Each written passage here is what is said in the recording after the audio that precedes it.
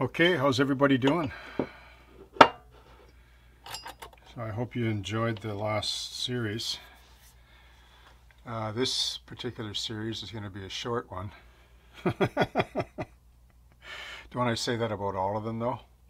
Well, the funny thing is, is when I do them, you know, I always think in my mind, okay, I'll just squeeze this one out, you know, in 10 or 15 minutes. And um, if I do that, then I skip important features and aspects of the tutorial and then people ask questions and then I have to go back and amend it and stuff and so if I if I try to be a little more comprehensive and thorough then then it helps people to get a better full understanding because there's so many people coming from different scales and philosophies and you know you know and since I'm on the topic of uh, let's see I got a few topics I just want to preface this tutorial with first if I may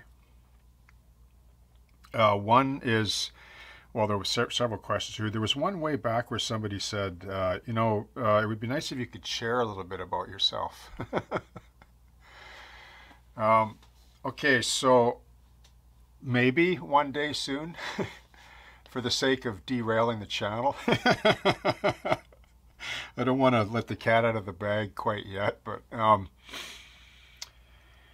well, most of you know that I, you know, had a career, a fairly long career in, in film and theater and, and and in the arts. But I've done a lot of other things too in life. I was just one of those type of persons that uh, traveled around, like regionally, I mean, and in careers, and you know, like I did a lot of things, you know, from uh, logging to working in theater in the film industry to teaching at a university in theater. Um, you know, I've I've was one of those types of persons I just couldn't stand being bogged down like in one career for more than five years, you know, or three to five years, I guess. I just was bored and uh, would move on, you know, when I felt I had learned it or whatever. I just wanted to, like a new challenge. I like challenges. For some people, that's, you know, the way they're wired, right? And I'm wired where I like a challenge. I don't like to do the same thing the same way over and over again. You know, I don't like the redundancy factor. Uh, you know, when we work or live life or whatever, and uh, you know, life's only so long. You know, and uh, there's just endless experiences, right, that we can enjoy. I mean, life's a beautiful thing. It's also very cruel too.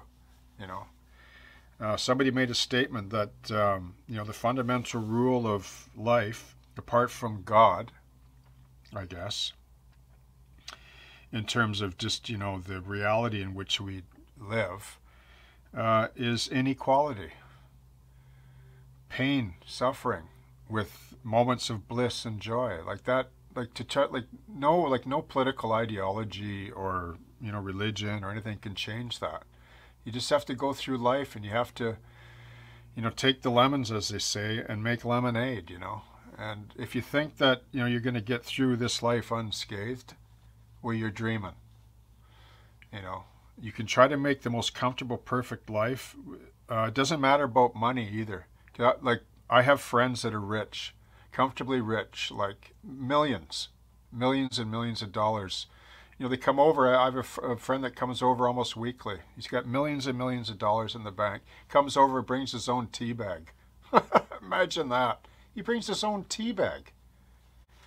Uh, anyway, we have these really, really cool conversations. He's way different than me in terms of his political um, disposition, and but uh, we share this, you know, very similar theology and uh, worldview, so that helps quite a bit. But anyway, uh, just to close on the philosophical, uh, like in terms of modeling, um, I just want to say that um, I take the approach to sort of a visual, sort of miniaturized film theater concept like I know like it might jar people the wrong way like you know oh well you're not scale or you're not you know you're you're uh, betraying you know the guild or you know that's fine. Like if people want to think that way like I've already been there with all the fine scale stuff like the competition got paid the big bucks had the dream job that any modeler would would would love to have had. Trust me. Like I had perfect jobs man like when I worked in a museum with an expense account, an excellent salary, selling models for large commissions on the side, loving my job, taking a cab to work, taking a cab home, having everything paid for and treated nice and, you know, been there, right? So I don't care about that anymore. I just like to have fun. And I'll build sometimes, I'll cheat scale visually because I'm more after the ratio, like in terms of a visual. Like I kind of view things, uh, you know, within the context of film. Like I can't get that out of my system.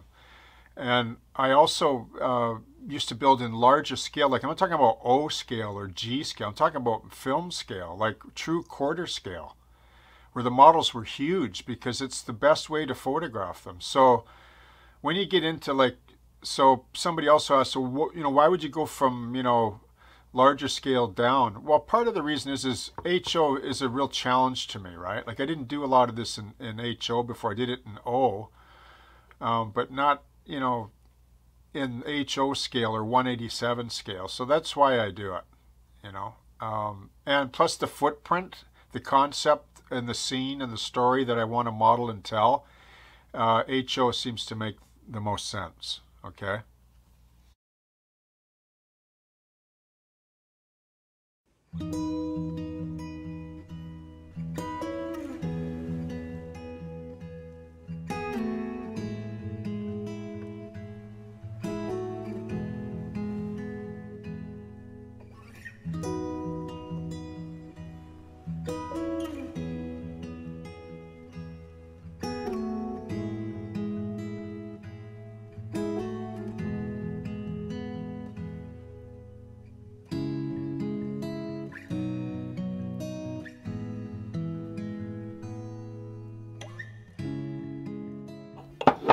Okay, so as I'm getting started here, I just want to mention Otter Valley Railroad. Um, and the reason why is, is they have an excellent supply, I mean really good, of evergreen plastic. They have a great web page, a good ordering kiosk. The shipping is second to none as far as I go. Their service is excellent.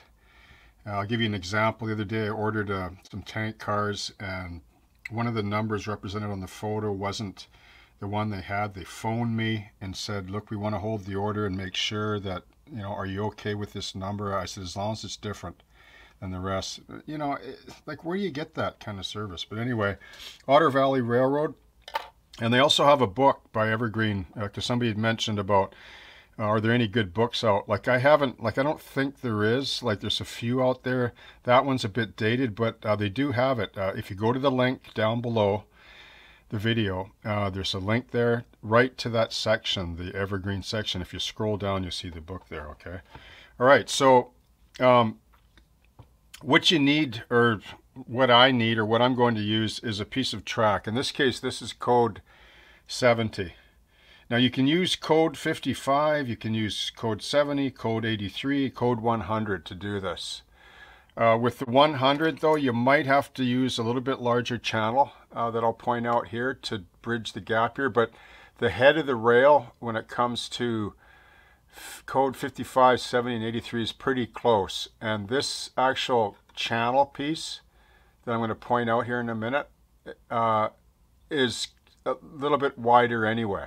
So that when it swings over the rail, there's room for it to sit down on top of the rail and not be impeded by the you know returns on each side okay? So like a section of rail like this and as you can see I've already laid up a few uh, on a little bit longer piece okay? So I'm going to zoom in now because it's close in work so it'll be a lot better to see it up close okay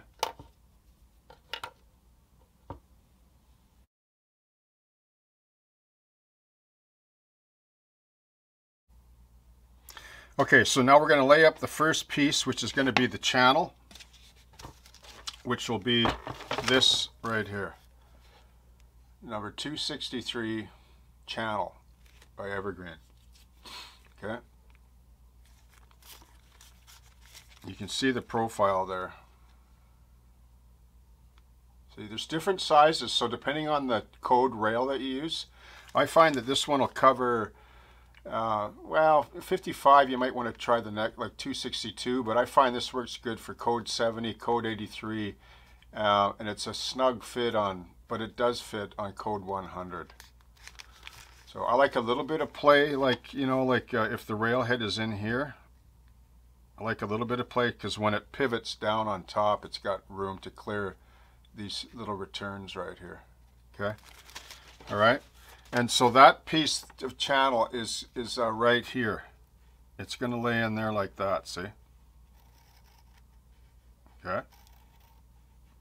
And you can see it runs all the way through under the anvil here, right to the other end. And furthermore, here's the other side. You can see it, see? See the lip? So we just visualize, we just the channel. We're gonna deal with this channel, we're gonna lay that on first. And here's my napkin drawing, and you can see channel number 263 will run on top of the rail like that. See how there's a little bit of play there? The reason for that is I don't pay too much attention to this drawing. It's just schematic. It's not the actual shape of things. Well, I mean, it is when it begins, but when we sand and cut, things change. But So when this uh, piece pivots like onto the rail here, I mean, because of the angle, it comes down pretty good, but you want a little bit of play just so that it sits nice. Okay, and that, like code 70 and 83 is very similar like head rail. 83 is a little bit bigger, and then 100, well, I don't have a piece of 100 here, but I think this would work with it, but if it doesn't, you can go with number 264 channel. Okay? So basically what I do is, is I just measure a piece about, like, you know, for this particular one, about uh, uh, 13 to 15 millimeters, okay?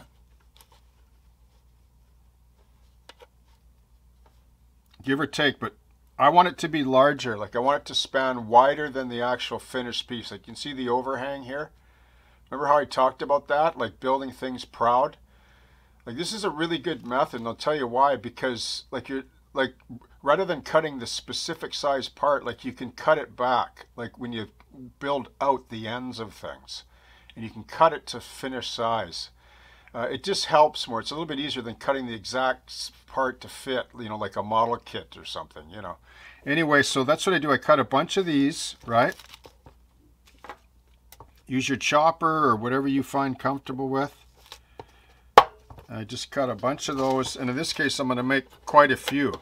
And uh, I like to make quite a few with small parts, like I mentioned that too, because, you know, you're going to have parts that are going to fail, right? Like, like, like you're going to learn and graduate yourself on each little build. And as you're working back and forth, you're going to, oops, I made a mistake. Glue got into the pin, you know, or whatever. So, you know, this is the redundancy factor that I mentioned when it comes to modeling that's essential. Okay? And then you can pick your best ones. Like you might, out of, let's see, we got 2, 4, 6, 8, 10, 11. So if you get five or six good ones, well, then your layout's covered, right? Okay, so what I'm going to do is I'm going to glue the top of this, like I'm going to put a spot of CA, like in this case, the medium CA that kicks off in 5 to 10 seconds when it's fresh. And I'm just going to put a spot of CA on the top of the rail here. You don't need much um, on there, just a little spot. Seal that bottle back up so you keep that active. Because this stuff will go flat like a tonic, like a tonic drink, right? You know how the first couple sips is really nice and then it sits around and goes flat? CA's the same way. Anyway, I'll put this on top of the rail and just press down and hold it. One, two, three, four, five, six, seven, eight, nine, ten. Okay, that should be good. Now we've got them laid up, see? So now we can build, we can keep this straight and level. So this is the jig. The, the, the track itself becomes the jig. We use the CA to tack it on because we can go like this later. Watch. Just put a pair of pliers under there like this, you know, like leverage it or whatever way that you want to do it off the tie and just pop it off, right? The whole thing pops off. So we don't need to pop it off yet. So let's just reattach that again. And we'll just pop that on like that. One, two, three, four, five, six, seven, eight, nine, ten. There she is. So there's the first piece, right? The channel. We've just laid in this channel and it's longer than we need, okay? Now we'll talk about this lip the derail lip and the anvil.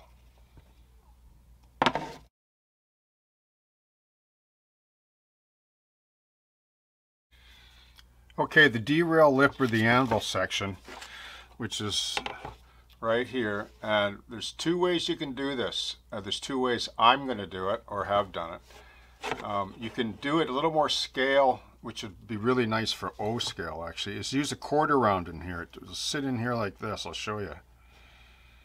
See? See that? Okay. Or you can use well in this case I'm going to be I'll show you it's 40 millimeter rod now the rod looks pretty good too the one I demoed at the beginning of the video was uh, uh, the quarter round but when you do the quarter round it'll sit a bit higher so you need to hone down the ties more to sit this whole assembly down deeper because otherwise it won't clear like when it's folded down. But in the prototype it's actually worn away anyway. Actually you can see right here see? Where the anvil sits in there. Over the years it's just pounded and pounded and you know wore up two uh, you know reveals in the ties there it sits down because it's so heavy and it gets dropped right so you can cut that into the model too it's prototypical okay so uh, the two items for this uh, that we're going to use is Number 248 quarter round, which is 60 thou. Okay, looks like this. And then 40 thou rod, okay, which looks like this. Okay. And what we're going to do with this one is we're going to turn this around. Okay. And what I'm going to do is I'm going to make a mark at the center of this channel. I'm not going to measure it because I don't need to measure it because I can see and I have run out on both ends because it's larger, right? So as long as I get it roughly center, but if you want to measure it, that's okay. Okay. Now remember what I talked about earlier about, you know, making sure that you rough the top of the surfaces because the, the glue, like it introduces a grain and a texture to the plastic and it just makes the glue far more effective, okay? So what I'm going to do first is is I'm going to lay in this piece of 40 thou. And what I've done is I've cut the section approximately an inch long, okay? Just so that I can handle it, like I need a handle on the part. Just in the same way there's the sprue frame when we build a kit, like in theory. So what I'm going to do is I'm going to take this 40 thou and I'm just going to grab it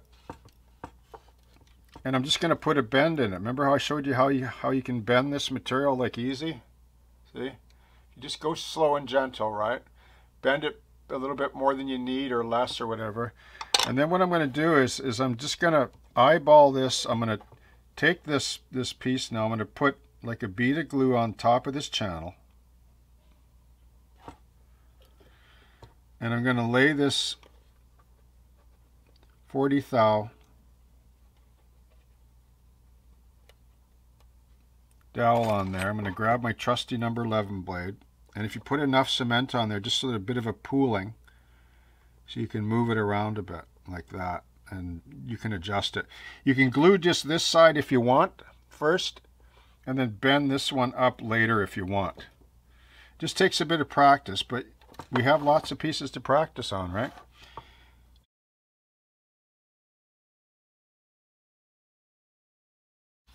Okay, so for the quarter round anvil, uh, what I'm going to do is I'm going to take a piece of this 248 quarter round and I'm just going to keep it on the long length here and I'm just going to uh, eyeball a bunch of sort of wedge cuts and the way they way I want to cut them is like if this is the quarter round right here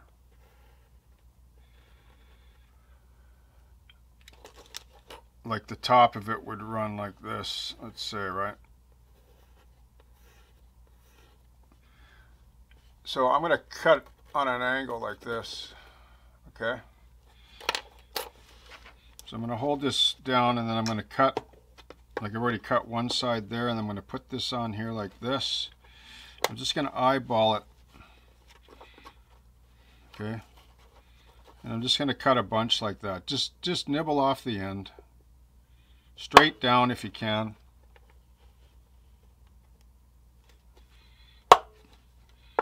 Whatever method that you feel comfortable with. Once you get into a kind of a zone, you, you really surprise yourself on, uh, you know, what uh, the human mind and muscle memory is capable of. Okay, so now that I got a bunch of those, I just picked the best one. Well, that one looks pretty good. I'm going to put a blob of cement there.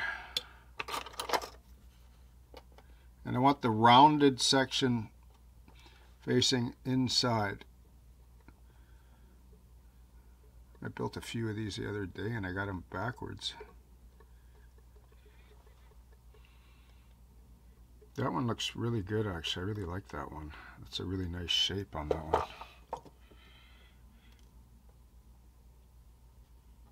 Just flood a bit of cement in there so that it gets a good bond. Uh, you want these to get like a really good bond because uh, you're going to probably cut a groove in them for the for the arm. Like uh, when you do this piece here, you can either just cut an angle on this piece or just a groove through the top of the anvil to sit down in, like uh, you would cut. You'd cut through this, so this piece sits like that, because this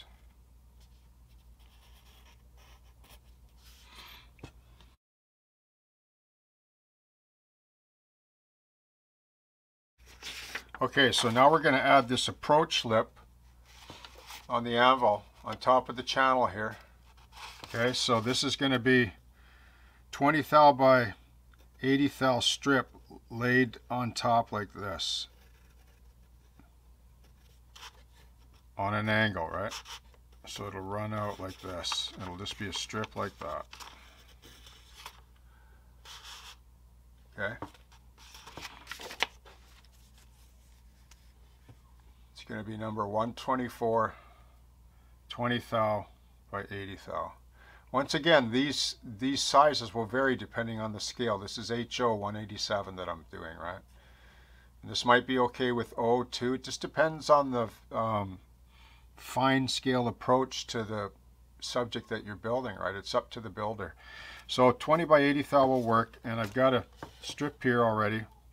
And what I'm going to do is is I'm just going to cut pieces that are about 10 millimeters long. You can probably get away with less, uh, you know, depending on how you want to do that. And then this is what I'm going to do. I'll start with this one right here. So I'll just lay a bead cement on there. Now you want to think of the flange of the wheel we're not going to measure that obviously, but you want to lay this over top like this. Okay? To that center mark. You might have to readjust that center mark, but it depends. But you can, all this is going to get tweaked with a knife and a nail file. Okay? So I'm just going to go like that.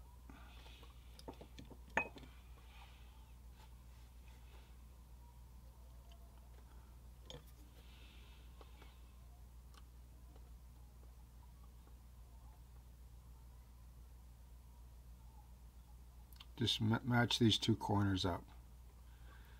I mean, in theory, they, or technically, I should say, they probably sit back a bit. But that's why we're building a few, right? You sort of get warmed up, and get into the zone, and uh, the final ones that you do will turn out really nice. Okay? You can see I've done that with these ones do.